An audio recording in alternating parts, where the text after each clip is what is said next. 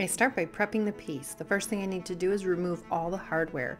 Now, just so you know, here's like a little disclaimer. There was no precious antiques harmed in this video. This is not real wood. I don't know what it is, um, but it is not wood. It's not even veneer. It's one of those pieces that you can get from TJ Maxx or Home Goods. So it's a mass produced, manufactured piece of furniture. so just want to let everybody know I'm not going to ruin this piece. And I love working on those types of pieces because I feel like I can, you know, freely do anything I want. There's no restoring here, it's just fun.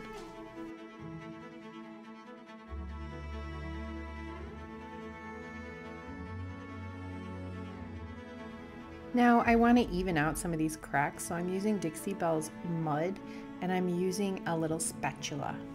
It's just an arts and crafts spatula. I'm not going to be really specific on making sure everything is perfect on this piece because it's going to be more of an art piece. Um, so I'm okay. Like the wood has some um, distressing in it, like some, it's supposed to look like there are like an old wood. So there's some holes in it and uh, little scratch marks and stuff. And that was purposely put into this manufactured piece. Now before adding any paint, I want to add slick stick to the surface because it's not veneer. Um, it's not any type of real wood. I started using my roller, but you know, quickly realized I need to go get a brush because it wasn't going to cover all those creases in the little design in the front. But I add two coats of the slick stick and I wait two hours in between the coats and then I just leave it overnight before adding my paint to it.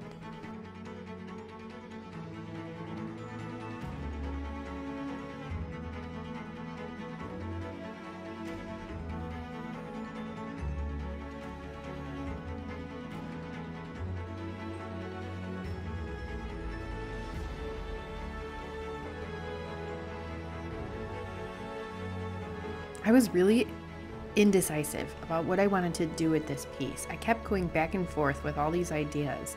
That's actually why I am covering the hinges with tape rather than taking them off because I ended up doing a blend of blues on the entire piece and I'm not going to show you because I'm going to save that for another piece. It just wasn't right for this one. So I ended up painting over that with some white paint if I was going to do what I'm doing now, which is custom, you're doing a custom color, I'm using a mix of muscadine wine, Peony, and Plum Crazy by Dixie Belle's Chalk Mineral Paint line. If I knew I was only going to use a solid color on the piece, I would have taken the hinges off and painted the doors separately. But because I thought I was doing a blend, I needed it all together. So that's the only reason I taped off those hinges. My ratio for this custom color is two parts muscadine wine, one part plum crazy, and about half a part of um, peony. I want this to be mostly muscadine wine, so I do end up adding a little bit more because it was just uh, too pink for me. I want I didn't want it to be pink. I wanted it to be more like um, there's this color that I saw on Pinterest called Marsala, and I wanted it to look like that. Just to get an idea of what it's going to look like on the piece, I used my finger. I was just in the moment and I dipped my finger and put it on the piece. And once I liked what was going on, I continued. And after I mixed it for a really long time, here's what it looks like. Now I'm going to use my roller and my water mister to apply the paint whenever I'm using the chalk mineral paint and I have a flat surface, I love using the roller with the water mister because it reduces the brush strokes and this the finish ends up really smooth. And because it's only one color, it goes by pretty quick.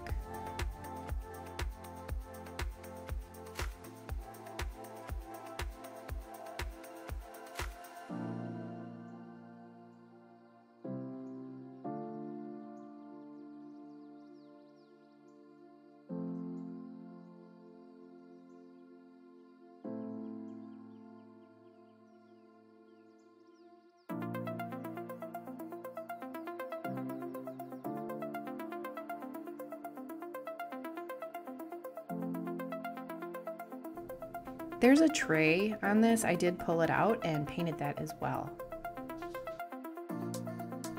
And I left the inside of the piece as it was because it actually ended up matching. So I just did some touch ups and I'll show you that at the end when we reveal the piece.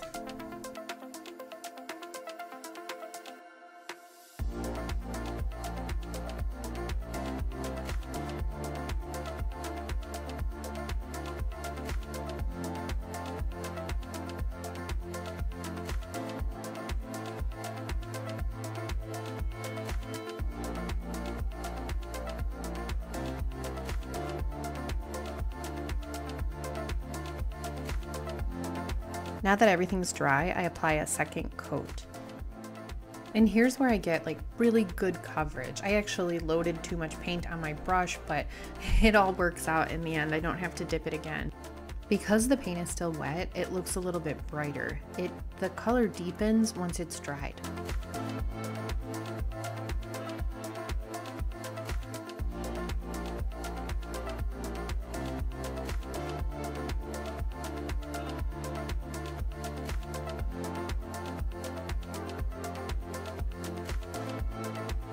Now I'm leaning the piece so that I can get any little spot that I might have missed. And that includes like any of the creases where there's the white primer. I cover all of that with a little artist brush. And then my next step is to use Dixie Belle's Clear Coat in Satin in my paint sprayer. I'm gonna add two coats of that because my next step, I can't do my next step until I have the piece sealed. And that's, I'm gonna seal it again after, but I just need two coats of sealer on it for now.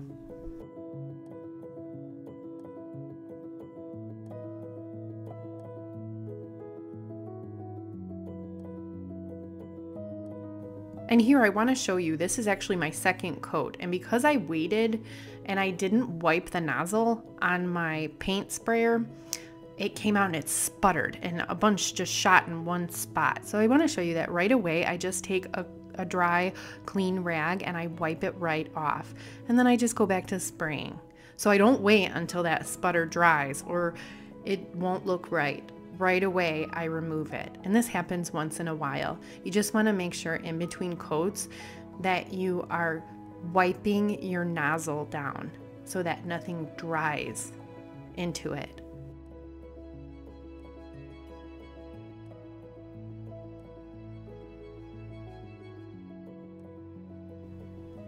So here I'm adding Dixie Belle's Best Dang Wax in brown to all those details on the front.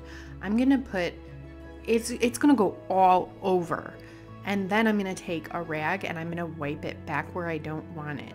But I put it everywhere at first. That's why I needed to add that sealer because if I didn't, I wouldn't be able to easily wipe it off. It would just kind of stick to that chalk paint because it's so porous.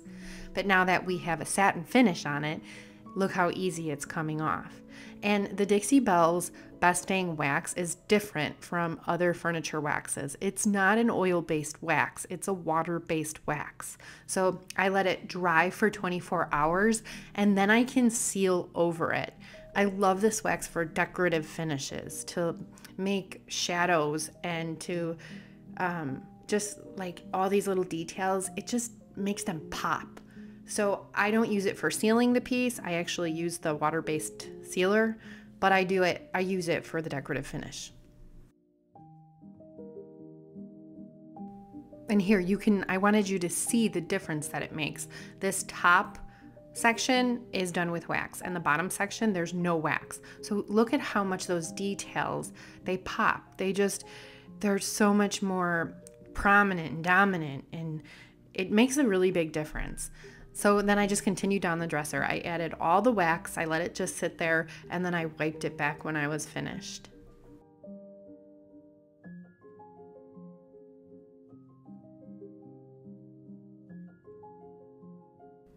And then another thing I like to do, um, I just added it a little bit to the rest of the front. Now I didn't add any of this wax to the sides and the top because they look great. I just wanted there to be a little bit more character and shadow. I wanted to deepen the color on the front. So you can do this by, you know, I just apply it. Um, I don't really, it doesn't matter how much goes on or how it looks when you apply it because you're gonna, you're going to refine the look with you could use a dry brush or you could use a rag. And here I'm using a rag, but I do also love using a dry brush to kind of move that wax around um, and to take some of that wax off. So I just play around with it until I like the way it looks.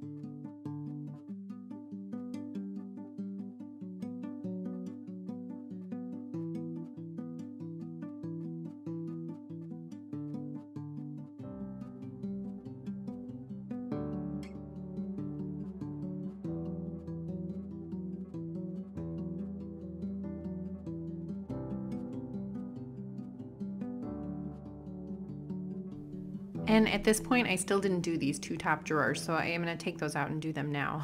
That's why they don't look finished. And then I take my sprayer once I have my wax on and I'm doing two more coats on the entire piece to make sure that everything is sealed in. And that's after I let it sit overnight.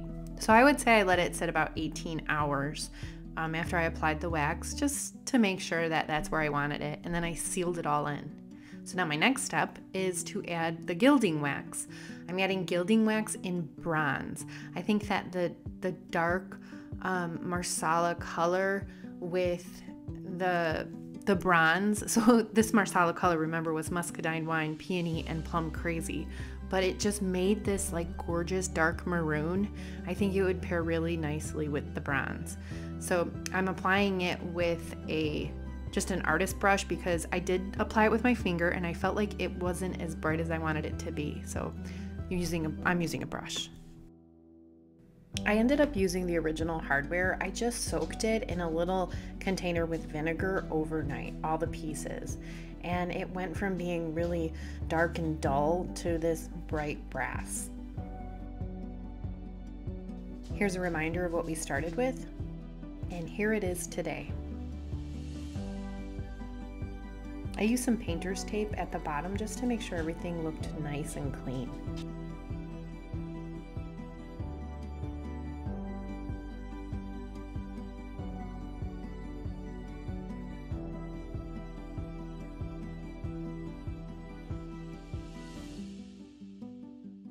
If you enjoyed this video, I would love it if you hit the like button and consider subscribing and I will see you next time with another furniture makeover.